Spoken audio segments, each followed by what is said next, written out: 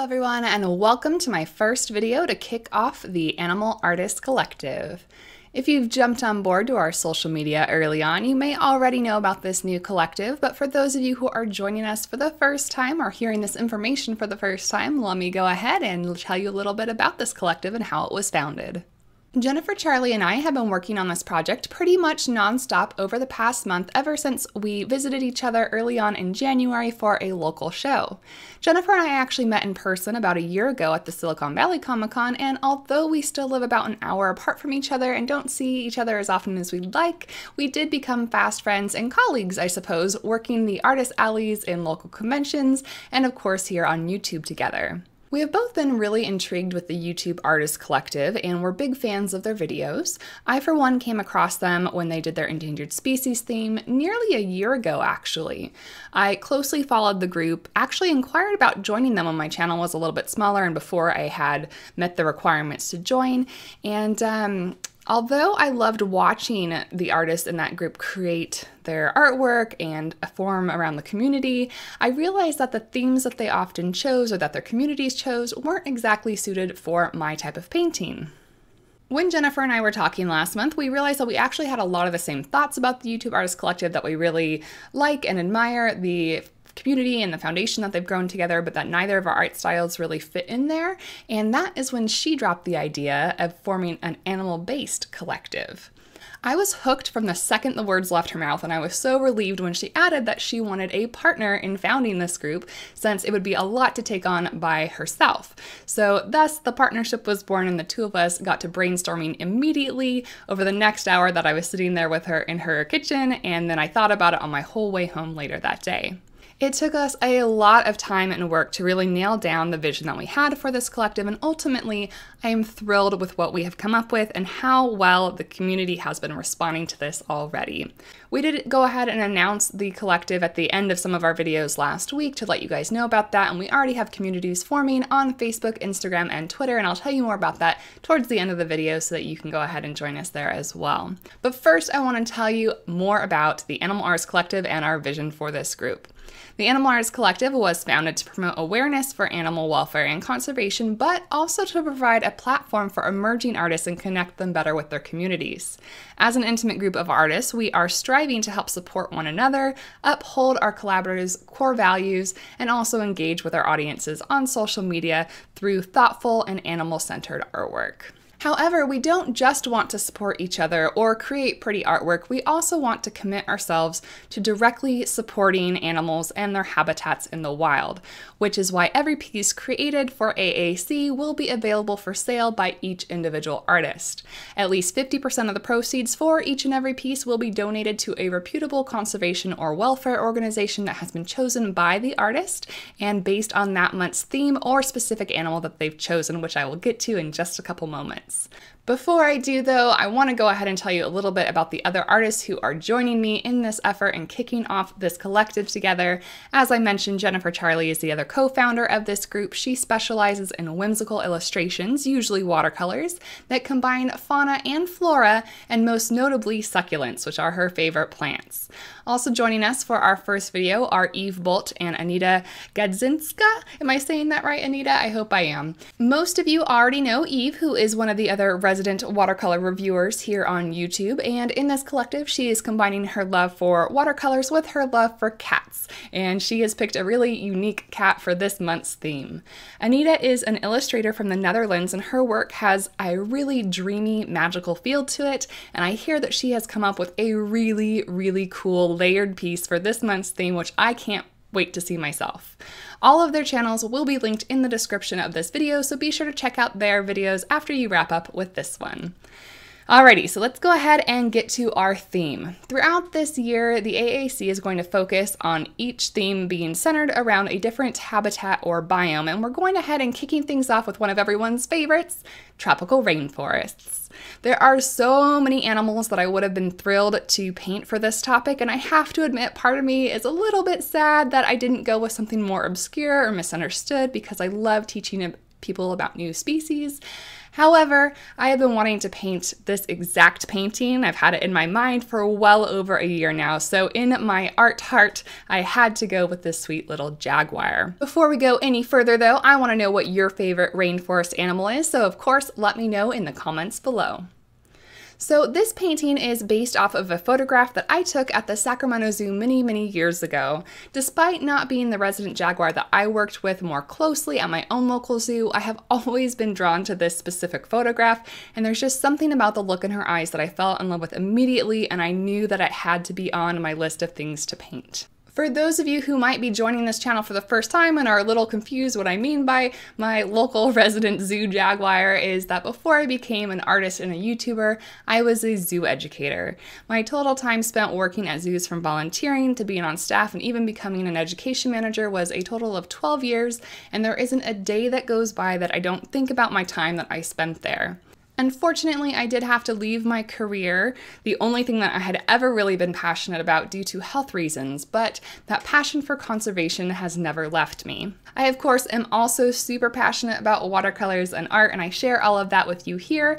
And last year, I also tried to incorporate some of my zoo roots into an Endangered Species Paint With Me series. I really loved doing them, but the weekly format was both physically and mentally exhausting coming up with all this information to talk about and having to kind of hash through the emotions that went with that. But I have been looking for ways to reintroduce this aspect of my artwork and my background in life back into this channel. And now with this collective, I feel like I have the perfect opportunity to do so while also being supported by and supporting other artists who are doing the same. I do want to take a quick note if you are starting off the AAC experience on this channel. I do want to specify that the AAC is a collective to support our love for animals and that each artist can do so in whatever way they see fit. Due to my background, I suspect that a lot of my videos are often going to be more technical and conservation based, but that is in no way a requirement from the artists in this collective. As long as we're all spreading love and awareness for our animal and wildlife friends, we are fulfilling our goals as a collective. So let's take a moment before we jump into that conservation side of things and talk a little bit more about this piece. This is a predominantly watercolor based portrait with a little bit of white ink that we're going to be adding at the end for highlights and finishing touches. I am using Daniel Smith and Schmincke watercolor paints on Arches 140 pound cold press paper. I'm using a variety of brushes including the Princeton Neptune for my base layers which is a big soft faux squirrel brush. Later on I'll be using a silver black velvet brush, a Princeton Heritage, and an Escoda Perla for the little tiny details. If you want to know more about my favorite brushes, be sure to come back tomorrow for a video on my top 10 favorite watercolor brushes as part of the top 5 series. It got extended to 10 because of the uh, feedback that I got on Instagram. And uh, all of my favorite supplies, regardless, can be found in my Amazon shop, which the link is supplied in the description of this video if you'd like to go ahead and take a look at that. As with all of my portraits, my favorite way to connect the viewer with the animals pictured are through their eyes, which I hope impacts the viewer to feel something in relation to the piece. I usually have a hard time naming pieces, and I suppose this piece wasn't really any different, but I did decide to go with Help Us, which relates to the jaguar's current conservation status. Jaguars used to be found as far north as the southwestern United States, but they are now rarely found in Mexico or north of Central America. They can survive in a variety of habitats, but they're most commonly associated with rainforests of Central and South America. They are a threatened species, with their numbers dropping primarily due to deforestation, trophy hunting, and interactions with humans and agriculture. The organization CITES prohibits international trade of any of their body parts, and luckily, Hunting is prohibited in many countries and restricted with others. However, there is still unprotected hunting allowed in places like Bolivia, Ecuador, and Guyana at this time. As I mentioned at the top of this video, this and all the other pieces from the collective are available for sale by the artist and mine can be found in my Etsy shop. The organization that I have chosen to support with the proceeds for this piece is the Belize Audubon Society. The Belize Audubon Society was formed in 1969 and has been at the forefront of conservation by protecting natural resources while educating the public about their values and sustainable uses ever since. Among other initiatives, the Belize Audubon Society maintains the Cockscomb Basin Wildlife Sanctuary, which was formed in the 1980s after being observed as having the highest density of jaguars ever on record. In addition to being renowned as the world's first ever jaguar preserve, the Cockscomb Basin is also of crucial importance in protecting an important watershed of rivers, as well as housing hundreds of species of both plants and animals within that ecosystem. This organization is such an important keystone for protecting rainforests throughout Central America that I would be honored to be able to donate the funds from the sale of this piece to help them further their efforts. If you're unable, however, to purchase this artwork but would still like to help support them, I will go ahead and, of course, link their organization in the video's description if you'd like to make a smaller donation. All right, team, so that was a lot of heavy hitting information about conservation. So, how about we have some fun facts about jaguars thrown in here, too?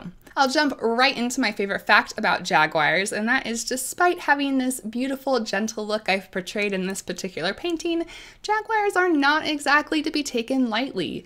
Pound for pound, they have the strongest bite out of any feline and can carry prey twice their size directly up into a tree for safekeeping from other animals. Their tongues, like all cats, are covered in those little barbs, and just like a house cat, only much, much bigger, they help them to not only groom themselves, but also to strip the meat clear off of bones. When I worked at the zoo, we had this really cool prop that we used for teaching about the jaguar.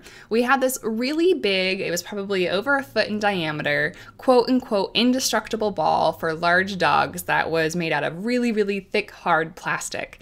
However, our ball was completely banged up, dented, chewed on, and roughed up on the outside. You could feel the incredible difference between the smooth uh, and untouched inside of the ball through the holes that were punctured into the ball, and you could compare that with the frayed, rough texture like a not even like sandpaper. It was so rough and coarse on the outside with all these little frayed bits coming off everywhere. We would ask people what they thought all this frayed texture was from, and they would say scratching. And while there were scratch marks on the outside of the ball that you could see separately if you were looking for them, this frayed, rough texture that was completely covering the outside of the ball was actually from our Jaguar simply licking it. And that can really show you the power of the tongues of these animals. It was really, really fun. So these facts about their mouths and their power are some of my favorite things about them, but there are also some neat facts about the way they look as well. The spots that they have on their back are actually called rosettes, which kind of look a little bit like roses, and despite initially maybe looking similar to leopards and people getting those two species confused, if you really look at comparison picture between the two, there are a lot of differences that you can see. Their patterns are different. For starters, the leopards have much smaller, closer together spots, and jaguars on the whole are a lot more stocky and muscular than their distant cousins from Africa. People often throw around the word panther as a separate species of cat, but black panther is actually a general name for either a jaguar or a leopard that has this melanistic mutation that makes them appear completely black. However, if you look really closely, especially in the sunlight, you can still see their spots underneath. Well, folks, I have gone through my five, yes, five pages of notes for this video and I think it's about time to wrap things up, but I did have a couple more quick things that I wanted to mention.